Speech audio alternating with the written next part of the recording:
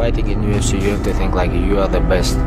If you think, oh, I'm number 10, I'm number 15, you have to go home and sit down in the home and watching UFC in the TV.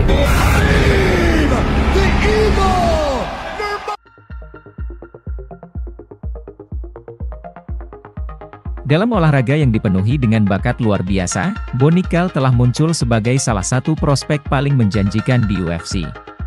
Dengan latar belakang yang mengesankan dalam bulat perguruan tinggi dan transisi ke seni bela diri campuran, MMA, kebangkitan Nikal di UFC telah menarik perhatian para penggemar dan pakar.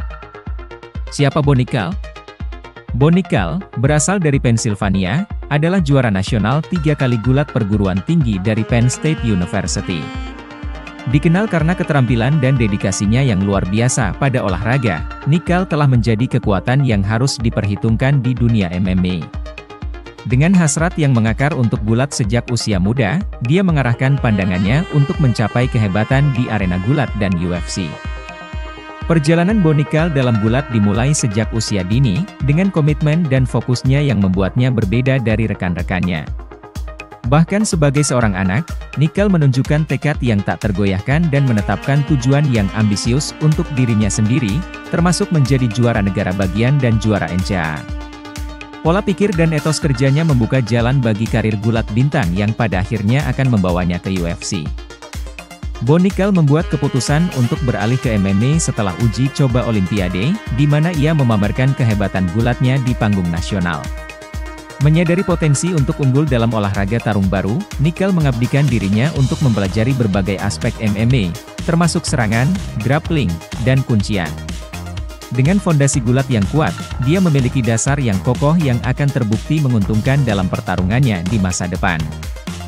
Setelah mempertimbangkan pilihannya, Bonikal memilih untuk mewakili program gulat Penn State University, yang terkenal dengan keunggulan dan dominasinya dalam gulat perguruan tinggi.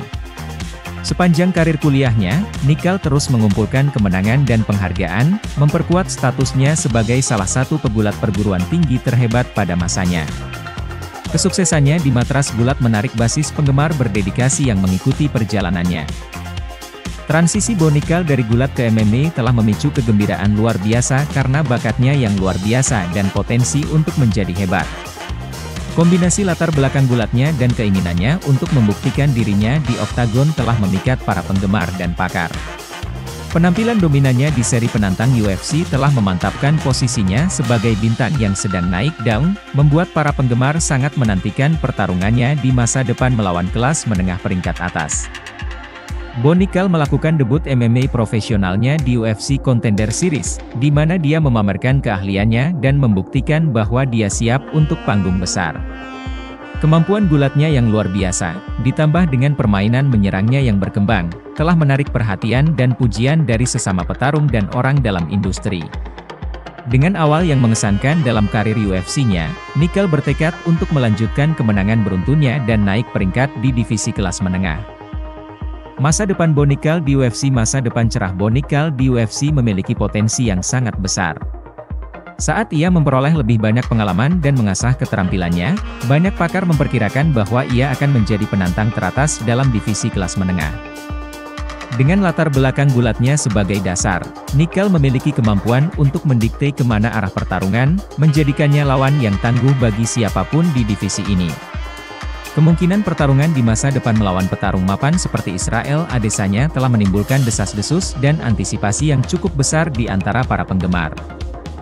Kesimpulannya, perjalanan luar biasa Bonikal dari gulat perguruan tinggi ke UFC adalah bukti dedikasi dan bakatnya yang luar biasa.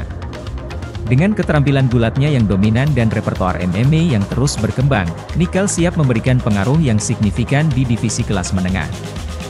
Saat para penggemar dan pakar sangat menantikan pertarungannya yang akan datang, masa depan tampak cerah bagi bintang UFC yang sedang naik daun ini. Nantikan Bonikal saat ia terus meninggalkan jejaknya di dunia seni bela diri campuran. Demikian artikel yang kami rangkum dari berbagai sumber, semoga bermanfaat. Jangan lupa like, share dan subscribe. Terima kasih.